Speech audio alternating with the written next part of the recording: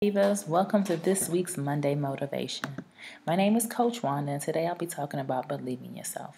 Ladies, we must believe in ourselves to accomplish any goal and dream that we set forth for ourselves. I love the scripture Philippians 4:13, which states, "I can do all things through Christ." But it's the second part of that that people don't really, really say. It says, yes, it does. It says, "I can do all things through Christ, who strengthens me."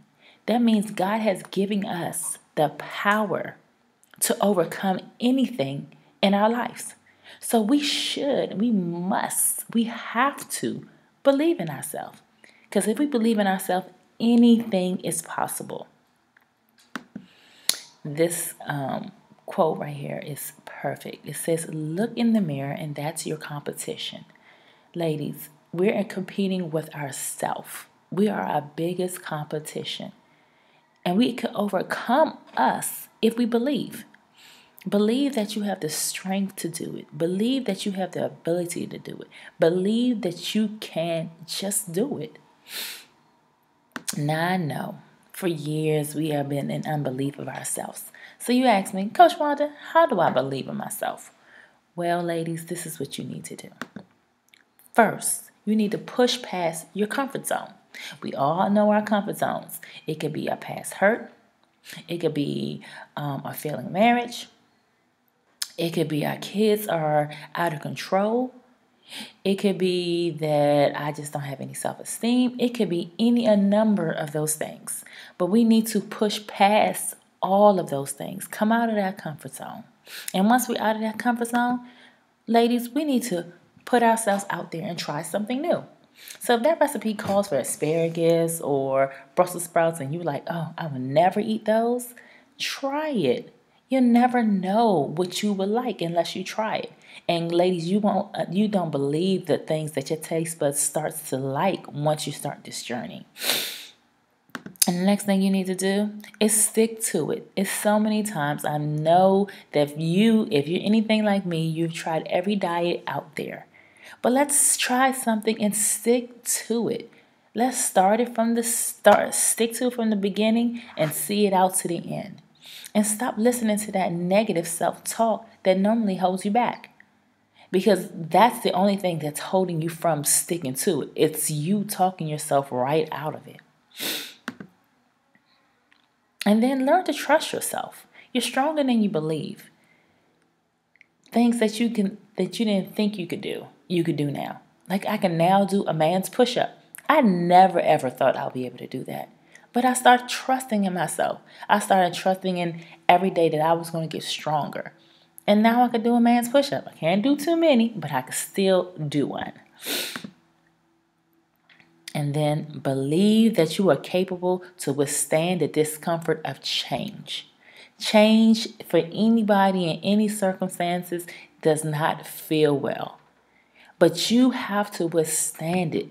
Just because it doesn't feel good, don't give up. That's when you push even harder because that means change is happening. So once you get in that box and like, okay, this is getting too hard, that's that's the point that you need to keep on pushing. And then believe in yourself that you can do it. Now, my man, TD Jakes, he puts it plain and clear on the reasons why we should believe in ourselves. So, ladies, listen to this awesome four minute video. And it will definitely bless your life.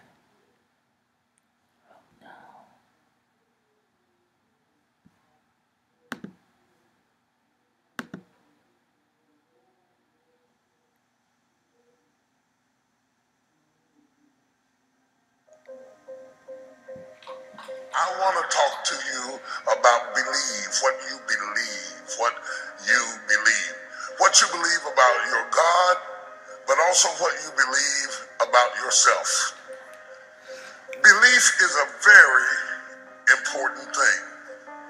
It's not just a matter of denomination. It's not just a, a matter of being a part of a group or a tribe or a clique or a cult. Belief has all to do with your philosophy that you live by, your vision, your purpose, your goals.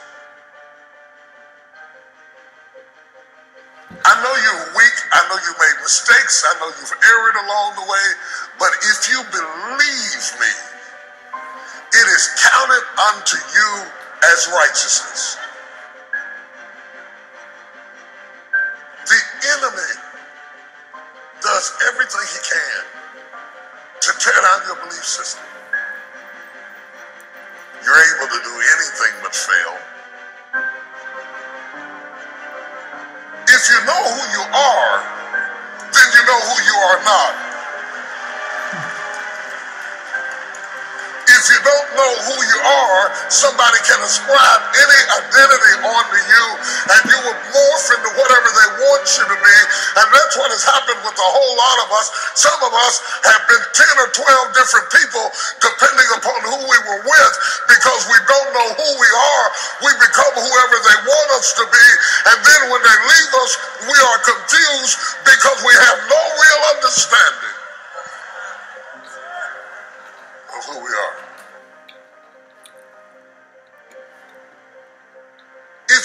up a business, if you open up a company, one of the things you have is vision, purpose, and goals. And you write them down so all of your staff and all your team and all your customers can know this is who I am.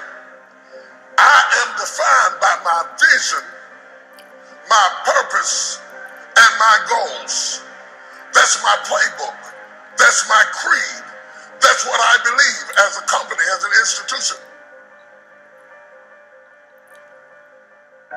I can do all things. Somebody say, I can do all things.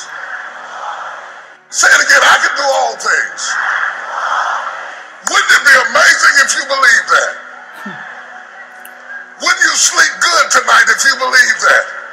Wouldn't you walk around with your head up and your back straight if you believe that? Say it again, I can do all things.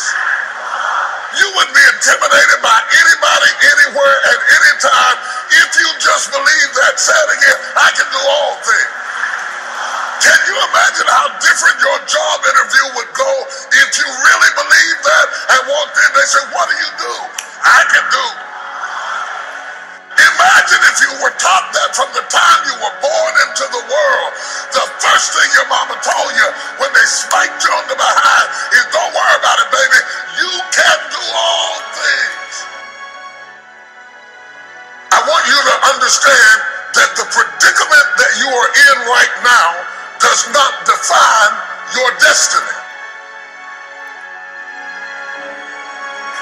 Time something whispers in your ear and says, You can't make it through this, you can't take this, you're going to have a nervous breakdown, you're going to lose your mind, you're going to die like your mama did, you're going to get sick like your daddy did.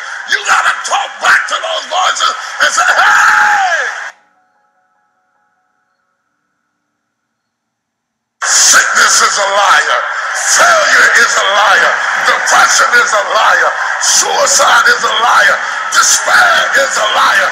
Spirits of heaviness, you're a liar. Disease, you're a liar. Can't learn, you're a liar. Can't read, you're a liar. Can't make it, you're a liar. Can't take it, you ought to, you ought to call out every liar.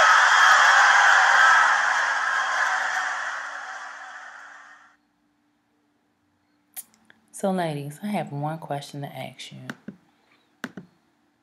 Are you ready to believe in yourself? Ladies, we can do this.